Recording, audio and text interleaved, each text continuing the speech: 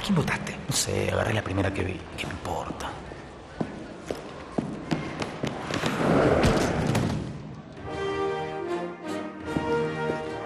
Hay gente que dio la vida por este país. Vota con responsabilidad.